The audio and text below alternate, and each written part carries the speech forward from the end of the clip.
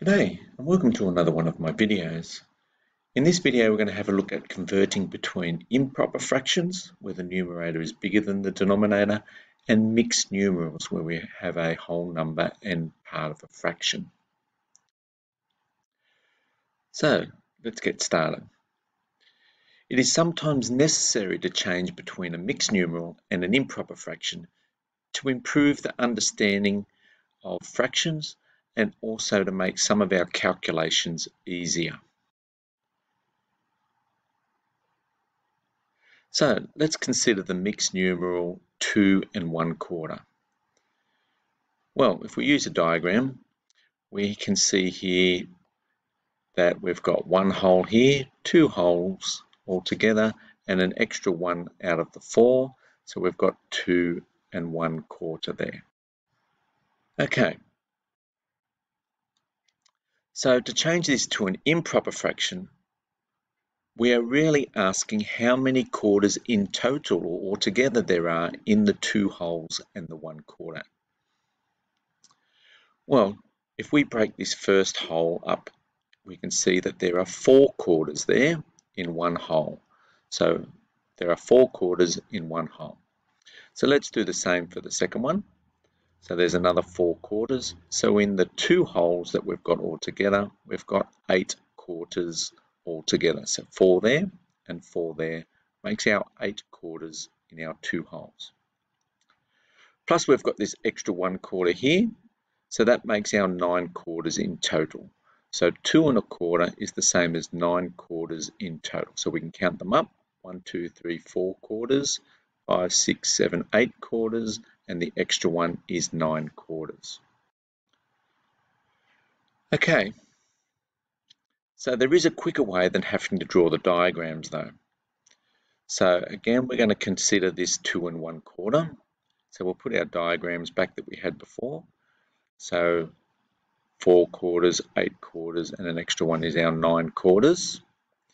But what our quicker way is, is we just multiply the whole number, this 2, by the denominator, the 4. So we're going to take that 2 and the 4, we're going to multiply those together. So our 2 times 4 is 8. And what that does is it tells us how many quarters there are in the two wholes. So 4 quarters and another 4 gave us our 8. So two lots of 4 gave us our 8. Now we've just got to add the numerator of the fraction part, so the number up the top. So we just take our 8 and add that extra one quarter and that gives us 9. So that tells us now that there are 9 quarters altogether. So this 9 now becomes the numerator and our quarter, our 4 stays the same. So we've got 9 quarters altogether. Okay, so let's consider another mixed numeral of 1 and 3 fifths. So let's again just draw a diagram just to double check. So we've got one whole and 3 fifths. So this has been cut up into five equal pieces and we've got three of them. So one whole and 3 fifths. So to change this to an improper fraction, we're really asking how many fifths there are in total in the one whole and 3 fifths. So we're going to take this one whole and cut it up into five equal pieces. And you'll notice that there are five coloured in there. So we've got five fifths that make up that one whole. Now we're going to add the extra 3 fifths over here. So that means we've got 5 there and another 3 here. So we've got 8 fifths in total. But remember, there is a quicker way than having to draw the diagrams. So again, we're going to have a look at this. So we're going to look at 1 and 3 fifths again. And here's our diagrams that we were just working with. And let's look at our quicker way. Multiply the whole number, which is 1, and multiply it by the denominator, the 5. So our 1 times 5 gives us 5. And again, that tells us that we've got 5 fifths. So 1 times 5 gives us our 5 fifths in that one whole. Now add the numerator, the 3. So the 5 fifths plus the extra 3 fifths tells us that we've now got 8 fifths altogether. So we're just placing this answer, the 5 plus the 3, as our numerator and our denominator stays as the 5.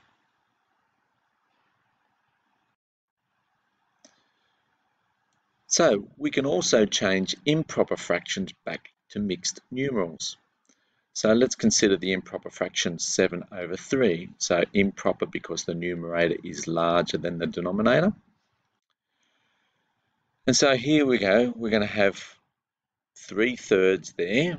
Now 3 thirds, we can remember three of them are going to make up one whole. So if it's cut into three equal pieces, three of them are going to make one whole and then another three are going to make another whole. So we've got six thirds altogether. One, two, three, four, five, six thirds altogether.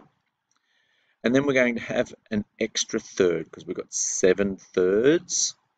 So we've, cut this shape again up into three, but I only want one of them. So now we have one, two, three, four, five, six, seven thirds. And as we can see from that, we now have our two wholes and uh, the extra one third. So there we have changing our improper 7 thirds to now 2 and one third. One whole, two wholes, and the extra one third. Okay, so there is actually a quicker way so we don't have to again draw diagrams to help us do these problems. So again, we'll have a look at 7 thirds and have a look at a quicker way. So there's our diagrams we just came up with a moment ago, just so that we can see them there. And the quicker way is we just divide the numerator by the denominator. So we go how many threes there are in 7. So let's take that, do 7 divided by 3, or how many threes in 7? Well, 3's in 7 go 2 with a remainder of 1. So how do we write that? Well, the 2 part tells us how many wholes. So 3's into 7 go 2. So there's two wholes, as we can see over here. And then the remainder tells us what fraction we have left over. So the remainder becomes the numerator and the denominator stays the same. So what I mean by that is we have sevens, sorry, threes into seven go two, and then our remainder of one becomes the numerator and our three stays as the denominator, what we were dividing by. So that gives us our two and one third. Okay, so let's have a look at an example. Convert the following mixed numerals to improper fractions. So we've got three here, and I'll go through them a little bit quicker. Remember, you can pause and rewind at any stage if you need to. So our first one is three and a half. So the question's really asking how many halves there are altogether in three wholes and one half. So we take our whole number and multiply it by the denominator. So we go 3 times 2 is 6. Now we're going to add the numerator. So the numerator is a 1. So we go 6 plus 1 is 7. So what that now tells us is that um, we have 7 halves altogether. So we finally write this as the numerator, this 7, and the denominator stays the 2. So we've got 7 halves altogether. So quickly, three twos are 6, plus 1 is 7, so 7 halves. So with the second example, 1 and 5 eighths.